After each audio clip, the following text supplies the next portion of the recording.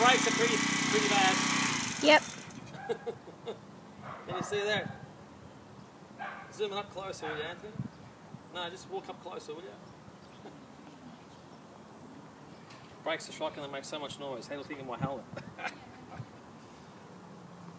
uh, the bracket's not done properly. I'm still waiting for the for the um, for the wider crank. As you can see, there is a wider crank here. I'll bring it up here. I'll bring it up closer. But it's running okay. As far as um, motor's running fine. Um, that's basically it. So as you can see, the the cog is here. It's fine. It's working perfect. The the extension of the of the um, of the arm there is not uh, is not is, is, is actually touching the the automatic transmission. So I'm waiting for this particular piece to come from the states.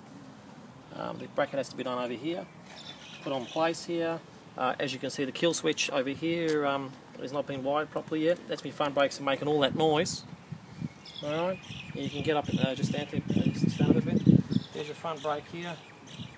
It's got a dual dual uh, cable here, but I haven't attached the back one as yet. Um, kill switch and an accelerator here. Of course, the, the the tank. If you come over on this side, Anthony, please. Um, I still have to spray that black. Okay. Um, nothing's all definite. I'm getting another thing to make it a seat pole to make it even lower. Um, but there's the there's the part that I got from the States. Um, and basically that is, um, that took me about two, three weeks to get from the States. But as you can see, it's, it's also touching this section here a little bit. But I'm still waiting for the for that particular um, long, uh, long uh, uh, piece to come through.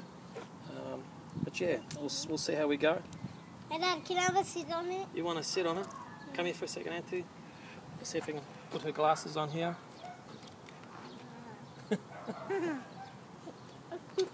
and there she is. Say bye bye, everyone. Bye. Okay, bye.